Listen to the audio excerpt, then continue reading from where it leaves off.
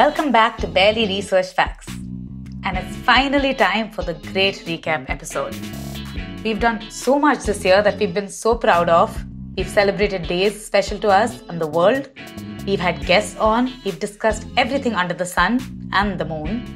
From the fascinating to the bizarre, from cults to dictatorships, from the gruesome, Krampus, to the ludicrous, Moonies cults. We've done our best to keep things interesting, which wasn't very hard to do considering the world and indeed humanity's ability to be downright weird. Here's a short reminder of what we got up to. This year we've celebrated getting you right into the holiday spirit. This episode we've chosen the word holidays. And I jump right into that holiday spirit with the legend of Krampus. The reason why we've chosen prank for this week's episode is because July 27th is the anniversary of one of the most famous pranks in the world. July 27th is the day that Rick Astley's iconic song, Never Gonna Give You Up, was released in 1987. And therefore, now we have an episode based entirely on pranks. So that's where that's where this brings you. I mean, I I think he's probably just accepted it and uh, taken it on really in a really good way. How his song is just basically only for pranks.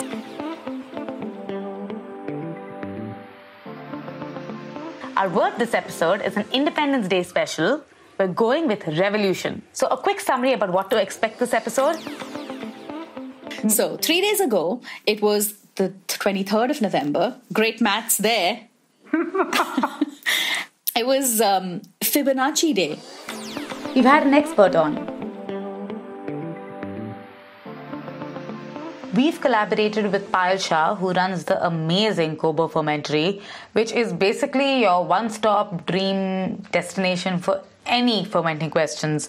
Payal is this fountain of fermenting knowledge, and every conversation with her has just been fascinating for both Shar and me. We've told stories, our tribute to the wonderful world of audio drama through some truly bone chilling stories. Our first story is called Homecoming, written by Shar and performed by Yuki Elias. If you missed the first story we released, check out yesterday's episode. Today's story is an inedible treat. I mean, it's indelible. Hunger is written by Shar once again and is being performed by Vidyut Gargi. We've discussed cults. In this episode, we discuss the scientific implications of plonking a werewolf on the moon before we spend some time deciding what exactly qualifies an organization as a cult that ruins lives, breaks up families, and causes havoc in people's lives. So, in this episode, somehow we're back on the topic of cults, favorite topic for most people around. Um, wait to have, find out how we've managed this. All I'll say is that the connection with cults it has something to do with a right triangle some real some misattributed discoveries if you're guessing tesla you're guessing wrong and vegetarians who weren't really vegetarians which is a tale as old as time Dictatorships. This isn't far from really what happens in Iraq, and it seems like the Iraqis take April Fools quite seriously, and they really do take dark humor to a whole new level. So, oh yeah, and one of the reasons for this might be that the most famous proponent of this holiday in Iraq is, as I mentioned, the family of the Husseins. Do I mean? Saddam and his son Uday. We also talk about that time North Korea landed the first man on the sun in a mere 21 hour long round trip. The fascinating So, Hank is a pistol shrimp, actual name, and very aptly named as well. Each time his claws snap, bubbles shoot forward and for a brief moment produce nearly as much heat as the sun's surface. If there's anything that we, or indeed everyone in the world, needs right now, it's a chill pill. And we'll give you a precise recipe for one, uh, straight from the most medically sound and reliable century in human history, the 1800s. the bizarre. In this episode, we discuss the scientific implications of plonking a werewolf on the moon, communicating telepathically and telegraphically with big eared Martians, no small feet, and why in the world the unstoppable telegram had stops in it. and the heartwarming. The last telegram in India was sent on the 14th of July 2013, which is why our word for this episode is telegram.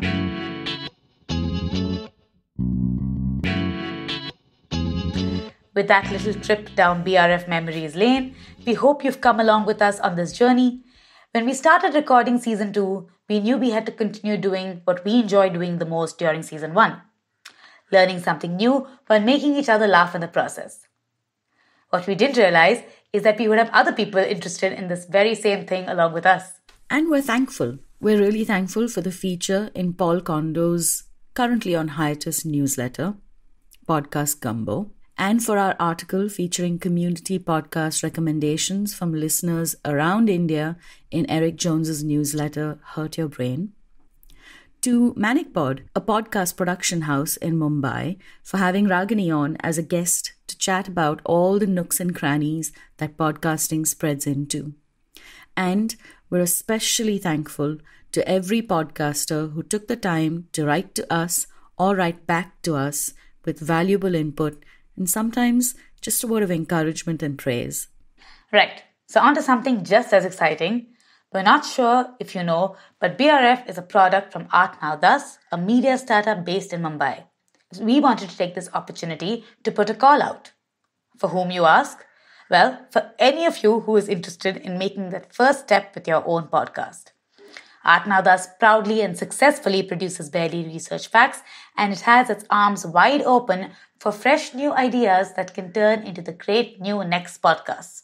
We'll help you nurture your idea into something real, something published, and something fabulous. If you think you fit this bill, get in touch with us at hi at artnowthus.in and we'll take it from there. And now, a great, big, very special thank you to the people who listen to us. Without you listening, without your feedback, good and bad, and advice, good and bad, we really wouldn't enjoy doing this as much as we have.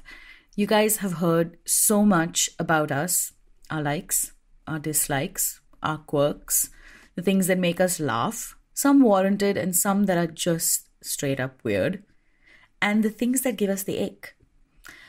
Well, we had to dig around and had quite a lot of fun doing it, and we learned a thing or two about you. So, we learned that over 45% of our listeners are in India. Shock. Not a surprise, really. But what is surprising is that 30% of you are in the US. All those foreign relatives of ours representing. We also learned that 4% of you are in New Zealand. Oi, oi, Kiwis. And 56% of you are female or identify as female anyway, which we can't help but be extra proud of. Women are known to have superior taste. Now, before it gets weirdly sexist, let's get ageist for the 28 to 34 year olds who are spending all their time listening to us rather than adulting hard because why adult when you can procrastinate? Thank you. Just just thank you. We've learned that you're a diverse bunch and you gave our little podcast a chance. So thanks. Finally we also learned that you guys have gone just goo goo gaga over the episode revolution which says a lot. We will see you on the other side of this seasonal revolution We've been Ragini and Shar, and you have been just awesome. See you guys. See you guys. As always, this episode was edited by Mohit Chandelier. Music for the episode is by Charita Arora. Bye.